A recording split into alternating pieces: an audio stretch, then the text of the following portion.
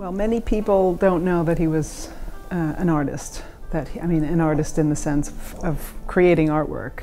So uh, the work that was selected by both Connie, Chris, and myself together, really to represent um, the many cultures uh, that, that, and a lifetime of of um, influences on Anthony Quinn. uh, many people don't know he was born in Mexico. People think he's Greek. National Hellenic Museum. It's perfect because he is the, the consummate representation of, of Greek, of the Greek man. But also, uh, the word that kept coming up when we were talking was Hellenism and what Hellenism means and what the museum represents. And, and that is the the study of a human being, the classics, the importance of the classics. Anthony Quinn was a self taught individual born in Mexico, raised in East LA in a very discriminatory situation, and transcended um, that, his humble beginnings, to really influence and make an impact on the world of the arts, um, movies, art. Not only that, also um, just by the way he lived his life an example of someone who loves art, lives his life through the arts, dedicated to um, making, collecting, and being an artist every day of his life.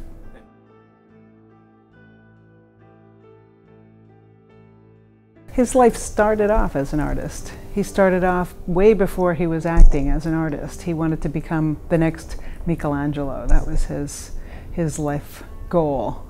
Uh, he never thought he could achieve that, so his next, next closest goal was to become an architect like Frank Lloyd Wright.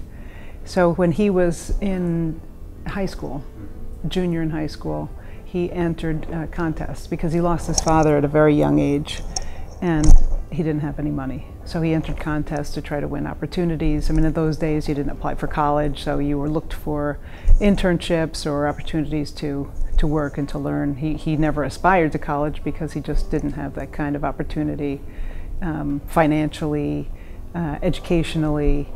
Um, even even throughout his young days since his father died, he skipped school a lot so that he could go and work and help the family, help support the family. So this contest he entered, he won. It was a drawing contest, and he met Frank Lloyd Wright. And you know the first thing Frank Lloyd Wright said to him? You could never be an architect if you don't learn how to speak. You mumble when you speak, there's something wrong with you. And he was devastated.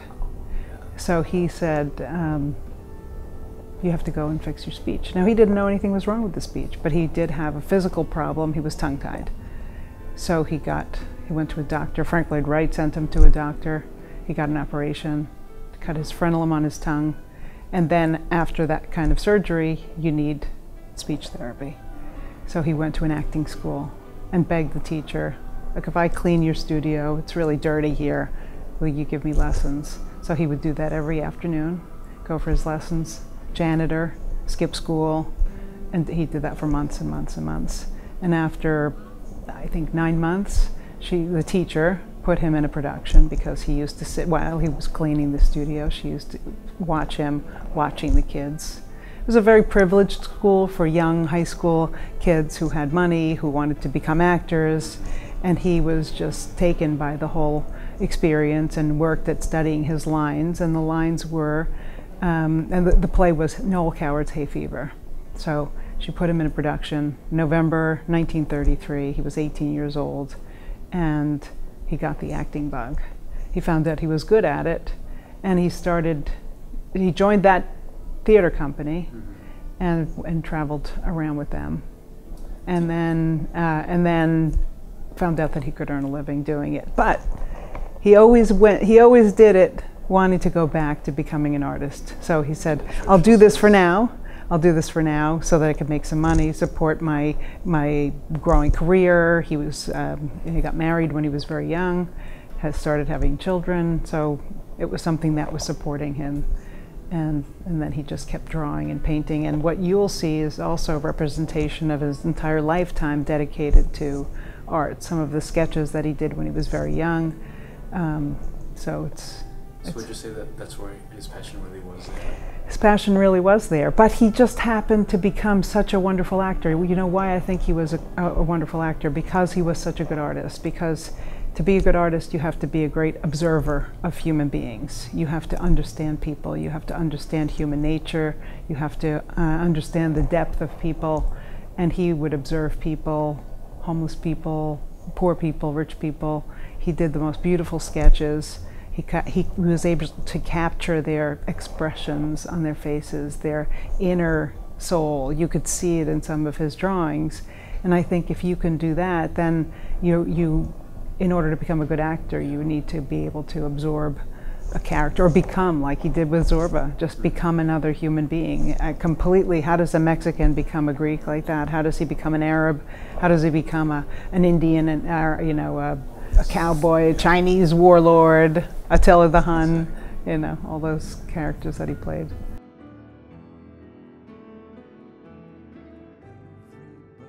Because he, because he painted and sculpted his entire life, it's really hard to, to um, you could see a theme, people, faces, human beings, so always the study of humanity. Really, I think that that's probably the, the, um, the theme because you see bodies, you see faces, you see expressions, and so people fascinated him. Uh, he did some nature, some landscape, but it was really um, the human body, the human face, um, women, a lot of women that he met. I think it was his way of understanding women. He, he had this, he has still this reputation of being a very, a very uh, gregarious, very loud, very boisterous, Zorba-like person. But really he wasn't. He was, he, he loved life, but he was a very tender, um, very caring um, person. Loved to go walking on the beach, loved to be alone with his kids. So very opposite.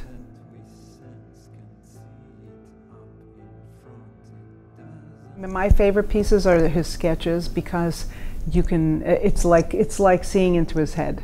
You know it's like reading his mind. It's like seeing in his heart and his soul because you can see pain you can see joy you can see the places he's been you can see the things that interested him. So i have 1700 drawings in my house and he called them doodles he didn't call them drawings like this was a fine work of art this was just some spontaneous sketch that he did when he was eating or on the phone um, you know, and sometimes they're abstract and they're joyful and they're colorful, and other times they're very thoughtful and pensive and, and dark. So those are my favorite because I think you could almost, if, if I had someone to help me, you could put together a timeline of, you know, chunks, even though he didn't date those things. Uh, also, his sculptures um, in stone, he selected some of the most amazing um, onyxes and marbles, and they give the piece so much more feeling. I mean, he would do a, you know, a woman's head, but the stone just is unbelievable bright and where, where the lines in the marble fall sometimes just light up a face. And so even if he did the two, same face twice in two different stones, it's a completely different sculpture because and I think also you see, you know, he started collecting art from a very young age. Uh, I, I, have high school students come visit his studio in my home, and um, one of the young boys the other day said to me, I'm going to start collecting art someday. Someday I want to start collecting art. And I said, why not now? And he said, well, because I don't have, I don't have money or I don't have the, I, the first time Anthony Quinn bought uh, the first horse that he collected, he was 17 years old, he had not a dime to his name. But the person in the antique store used to see him going in every day to look at it, and he said, "I'll lend it. To, I'll give it to you on." on layaway, almost like a layaway. And then he ended up paying him when he got his first job. But he also used to collect things from the flea market. Or, you know, when he lived in Greece, when he was making Zorba, they gave him a, a half of a house to live in. He had to transform the space. It was, you know, it was on the beach and it was the mayor's uh, like summer home or something and he and his friend built furniture. They went out to the flea market. They got little sculptures, little antiques to decorate the shelves. And he did that everywhere he lived. So it didn't matter if he had hundreds of thousands of dollars. He just surrounded himself with beauty wherever he was. And, and that's a lesson that I learned from him is that you really don't have to wait until you go to Greece or to Italy or to you bring beauty to your own life in so many different ways. What the message is is teaching them how you can live regardless of a lot of people use the excuse of where they live or their dire circumstances or something that's wrong with their life that they can't achieve something.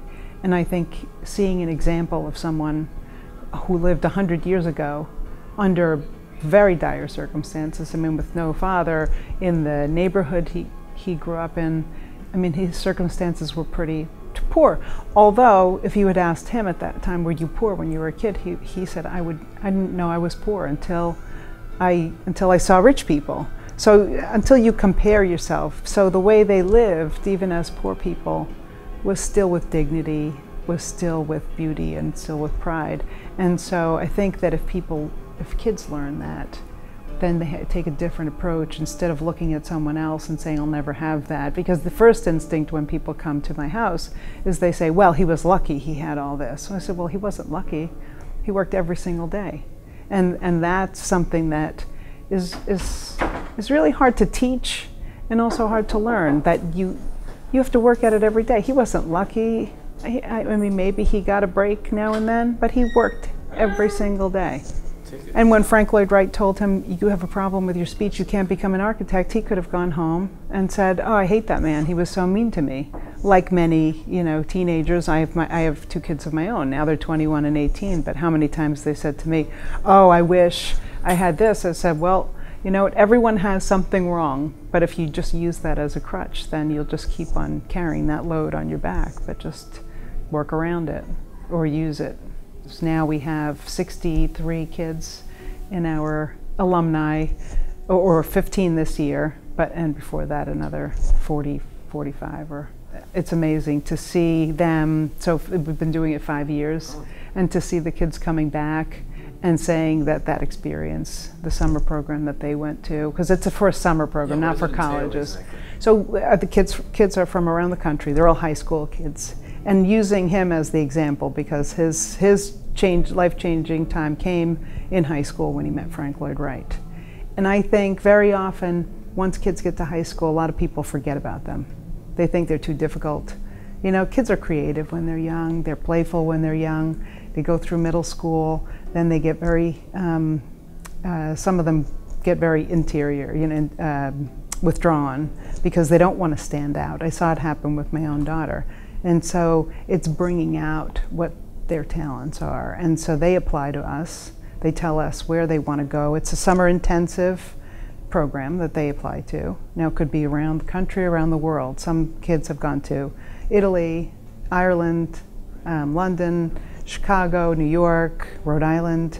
So they'll say, I want to go to the Hubbard School for Dance. And it's all the arts as well dance, music, singing, poetry, um, visual art, acting, digital media, all, all across the board. And I think now we have kids from almost every discipline who have applied. And they submit essays, almost like a college application. It's very intense. You got to want it. And you have to also put in some of the money. So when you pick a program, you've got to pick a program that you can half afford to help us pay for because we want to, them to have some skin in the game as well. Not just give them a check and go off and go to school. They don't appreciate it as much as when they, they put in. I don't know if you have kids, but when, when you make them put up some of their own money, it's a, it's a different story. I, I so. you know what it feels yes. like. Yeah, you're too young.